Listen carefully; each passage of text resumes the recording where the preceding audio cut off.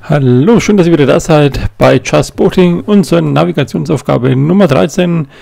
Bevor wir loslegen, ein riesen Dankeschön an euch alle für 4000 Abonnenten. Das Ganze hätte ich vor zwei Jahren wirklich nicht erwartet. Besten Dank für eure Unterstützung in den letzten zwei Jahren. Aber jetzt lasst uns direkt loslegen mit der Aufgabe Nummer 13. Ihr wisst wie immer, sämtliche Materialempfehlungen findet ihr in der Beschreibung zum Video. Würde mich freuen, wenn ihr über diese Links bestellt. Da könnt ihr mich noch etwas mehr unterstützen. Wenn noch nicht geschehen, dann lasst ein Abo da, dass wir die 5000 auch noch knacken. Und dann geht es direkt los mit der Ausgangssituation. Ein aus Helgoland ausgelaufenes Sportboot befindet sich am 2.7.2014 auf dem Weg nach Bremerhaven. Aufgabe Nummer 1.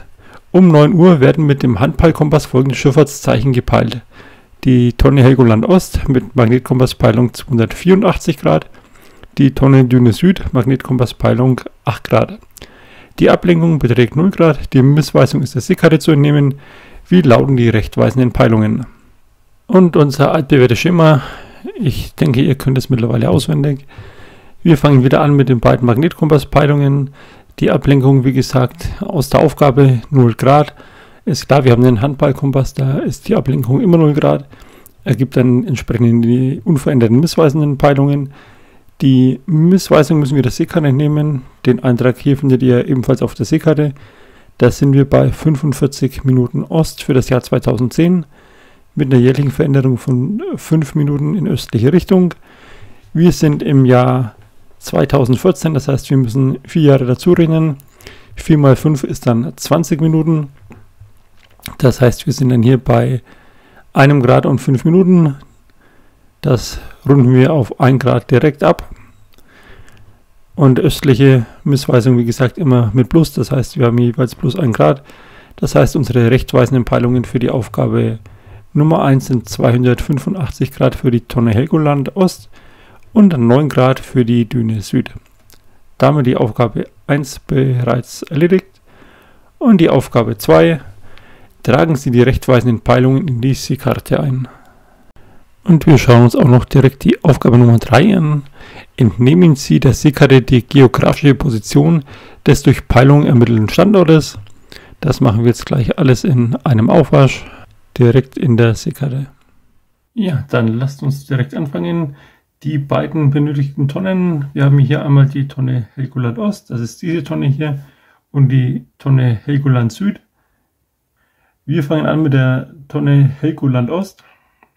Also diese Tonne hier, das sind 285 Grad, die wir eintragen müssen. Dann legen wir unser Kursdreieck wieder entsprechend an. Ich rutsche mal kurz hier hoch, dass ihr seht. 285 Grad.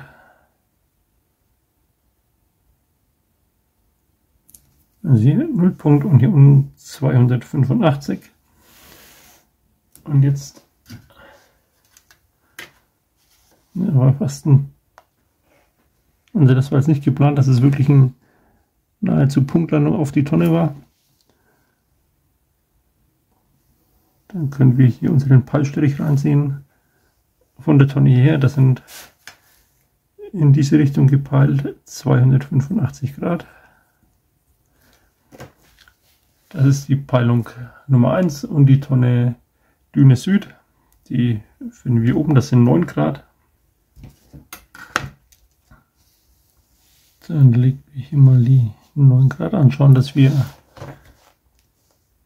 wieder direkt in der Nähe sind.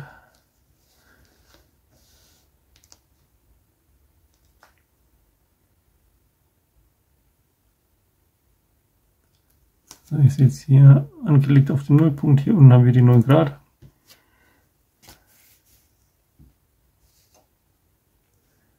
Und dann verschieben wir es auf die Düne Süd.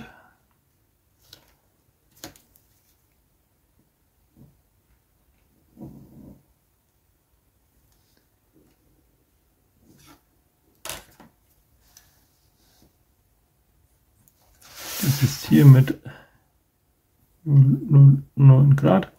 Das sind die beiden rechtweisenden Peilungen, die wir eintragen müssen. Das heißt hier auf die dünne Süd 9 Grad, hier 285 Grad. Wir haben hier unseren Schnittpunkt. Da ist blöderweise genau den Pfeil reingezeichnet. Das wäre dann unser Ort beobachtet um 9 Uhr.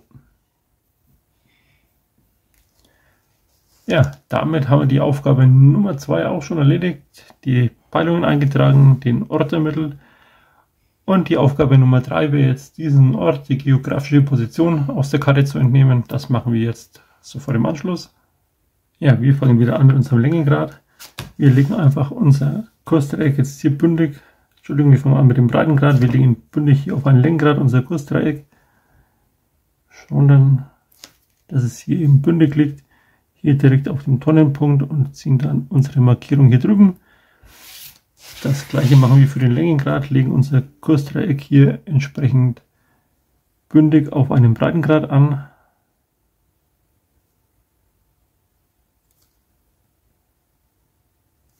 Und können dann hier oben direkt die Markierung setzen. Jetzt müssen wir nur noch die Position entnehmen. Wir haben hier unten, ihr seht das, 54 Grad, 5 Minuten. 6, 7, 8 Minuten und dann 2, 4, 6. Also 8 Minuten 54 Grad, 8 Minuten, 6 nördliche Breite. Und dann das gleiche für den Längengrad. Ihr seht, wir sind bei der 8. Hier sind wir dann noch bei 7. Das heißt, wir haben hier 7 Grad, 55 Minuten und dann hier sind wir bei 2, 4, 6 und in der Mitte 55,7 Minuten östliche Länge. Damit auch schon die Aufgabe Nummer 3 erledigt. Und dann schauen wir uns mal die nächste Aufgabe auf der Präsentation an. Zuvor hier nochmal kurz zum Mitschreiben die Lösung. 54 Grad, 8,6 Minuten Nord, 7 Grad, 55,7 Minuten östliche Länge. Das zur Aufgabe 3 und dann die Aufgabe 4. Welche Bedeutung hat die Tonne Helgoland Ost? Und wie immer ein schönes Bild von der Tonne Helgoland Ost. Das ist diese Tonne hier. Und das ist ein Ostkardinalzeichen, zeigt an, dass die Gefahrenstelle im Osten sich umfahren werden kann. Das heißt, ihr seht hier diese Tonne Ost, ihr seht diese beiden Pfeile. Der eine Pfeil zeigt, äh, oder diese Kegel, das sind die Topzeichen. Der eine Kegel zeigt nach oben, der andere Kegel zeigt nach unten. Das ist die Osttonne. Ihr könnt euch das einfach vorstellen, wenn ihr hier die Spitze und die Seitenspitzen jeweils miteinander verbindet, würde das Ganze ein Ohr geben. Das könnt ihr euch merken, das ist also die Osttonne. Und so würde dann diese Tonne eben ausschauen. Ihr habt hier oben die beiden Kegel. Ihr habt die Farbgebung schwarz, gelb, schwarz. Die Kegel, die Spitze der Kegel zeigt immer an, wo die Tonne schwarz ist. Also ihr müsst euch vorstellen, die Tonne ist erstmal gelb und die Kegel zeigen euch dann an, die Spitzen jeweils, wo ihr sie schwarz einfärben müsst. Und nachdem der obere Kegel nach oben zeigt, müsst ihr die obere Markierung schwarz machen und der andere Kegel zeigt nach unten, also auch unten schwarz machen. Und daher wisst ihr immer, eine schwarz-gelb-schwarze Tonne ist die Osttonne. So kann man sich das merken. Wenn ihr die Kardinalzeichen noch nicht gelernt habt oder vergessen habt, wie sie aufgebaut sind, dann schaut euch das Video an.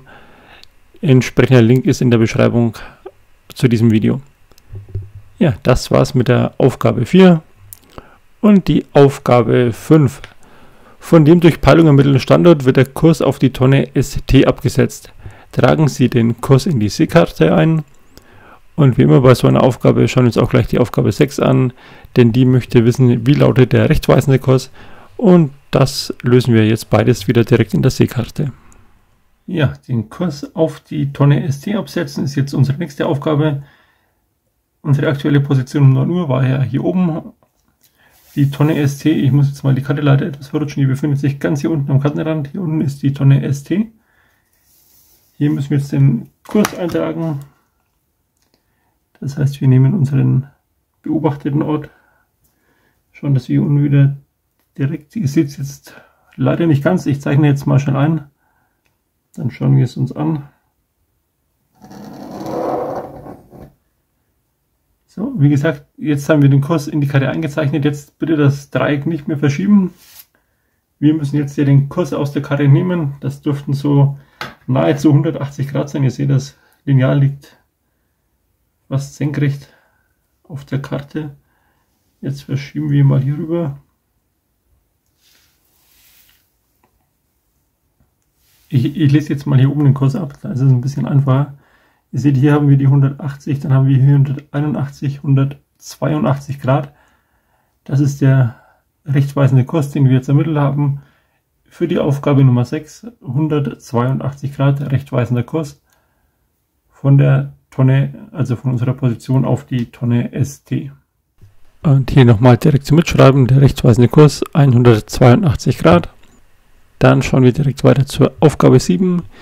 Die Ablenkung beträgt plus 4 Grad. Die Missweisung ist der Seekarte zu entnehmen. Wie lautet der Magnetkompasskurs? Und wieder das altbekannte Schema. Wie gesagt, wir rechnen diesmal von unten nach oben. Denken daran, die Vorzeichen umzukehren. Rechtweisender Kurs 182 Grad haben wir gerade aus der Karte entnommen. Die Missweisung beträgt 1 Grad. Das haben wir ganz am Anfang schon gerechnet. Das ist hier auf Basis der Angaben aus der Seekarte zu entnehmen. Das heißt von unten nach oben mit dem umgekehrten Vorzeichen. Das heißt, wir sind dann hier bei 181 Grad. Die Ablenkung beträgt 4 Grad. Die können wir hier auch direkt einschreiben. Und wir rechnen 181 minus 4 ist gleich 177 Grad.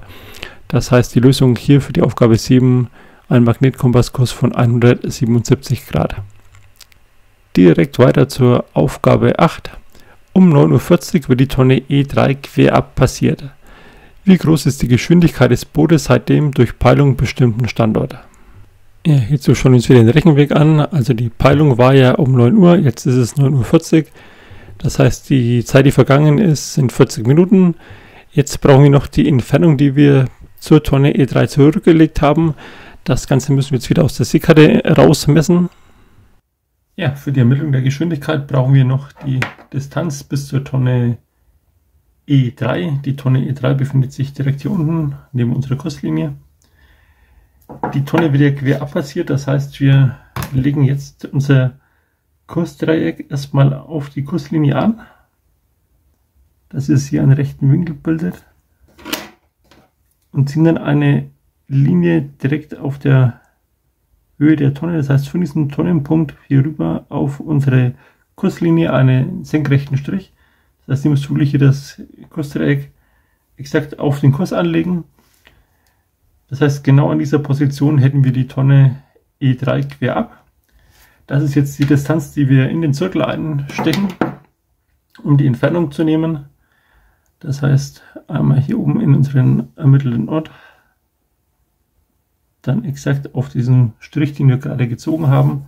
Und dann nehmen wir am linken oder rechten Kartenrand wieder entsprechend die Entfernung. Ich steche jetzt mal hier ein. Ihr seht, wir sind bei 54 direkt eingestochen. Bei 5 Minuten ist der Zirkel, 5 Minuten sind exakte 5 Seemeilen die wir da zurückgelegt haben in 40 Minuten. Und mit diesen beiden Werten rechnen wir jetzt unsere Geschwindigkeit aus. Ja, also Zeit 40 Minuten, Entfernung 5 Seemeilen, dann haben wir wieder eine ganz einfache Rechnung. Wir haben 5 Seemeilen geteilt durch 40 Minuten mal 60 ist gleich 7,5. Das heißt, wir haben eine Geschwindigkeit von 7,5 Knoten. Ja, das Ganze jetzt wieder mal im Kopf zu rechnen, Dafür gibt es hier auch wieder eine kleine Hilfe. Und zwar, wenn wir, wenn ihr euch überlegt, wir haben 5 Seemeilen in 40 Minuten, dann schaffen wir 2,5 Seemeilen in 20 Minuten, also die Hälfte. Das heißt, die Hälfte von 5 Seemeilen ist 2,5 Seemeilen und die Hälfte von 40 Minuten ist 20 Minuten. Und dann ist es ein leichtes, das Ganze auf 60 Minuten hochzurechnen, denn 3 mal 2,5 ist 7,5 und 3 mal 20 ist 60 Minuten. Das heißt, wir schaffen also 7,5 Seemal in 60 Minuten. Und 7,5 Seemal in 60 Minuten entspricht 7,5 Knoten. Das heißt, so bekommt ihr dann ohne großen Rechenaufwand in eurer, eurer Prüfung das Ergebnis auch hin. Und damit kommen wir auch schon zur letzten Aufgabe. Beschreiben Sie Farbe, Kennung und Topzeichen der Tonne ST. Die Tonne ST war unsere Zieltonne, das ist die Tonne, die ganz unten am Kartenrand war, das ist diese hier. Und wir haben, Farbe ist rot-weiß, senkrecht gestreift, ihr seht es hier unten, RW, Red, White oder auch Deutsch rot-weiß. Der Strich, der hier von oben nach unten geht, der senkrechte Strich, zeigt, dass die Tonne senkrecht gestreift ist. Die Kennung ist weißes Gleichtaktfeuer mit 8 Sekunden Wiederkehr. Ihr seht das hier ISO 8 Sekunden. Also bitte auch die, die Kennungen der Tonnenleinen ist hier immer in Englisch angegeben. Da müsst ihr dann die entsprechende deutsche Bezeichnung dazu kennen. Auch hier habe ich ein extra Video gemacht. Schaut euch das bitte auch nochmal an. Und das Topzeichen ist ein roter Ball. Das sehen wir oben, dass der Ball rot ist, müsst ihr wissen. Die Tonne würde dann im echten Leben so ausschauen, rot-weiß gestreift und eben der rote Ball als Topzeichen. Ja, damit haben wir die Navigationsaufgabe 13 auch schon geschafft. Hier nochmal sämtliche Lösungen zum Mitschreiben im Überblick. Drückt kurz auf die Pause, wenn ihr es braucht, schreibt es euch ab. Und dann sind wir auch schon wieder am Ende. Wenn es euch gefallen hat, dann lasst mir bitte unbedingt ein Like da, abonniert den Kanal. Wie gesagt, der Weg zur 5000 würde mich freuen, wenn ihr wirklich ein Abo da lasst. Wenn ihr Fragen, Wünsche, Anregungen habt, dann schreibt es jetzt in die Kommentare und wenn ihr mich unterstützen wollt, nochmal oben rechts auf die Registerkarte klicken oder auf den Super Button. Besten Dank euch dafür und wir sehen uns bei der Navigationsaufgabe 14. Bis dahin, viel Spaß beim Lernen, macht's gut, euer Tim.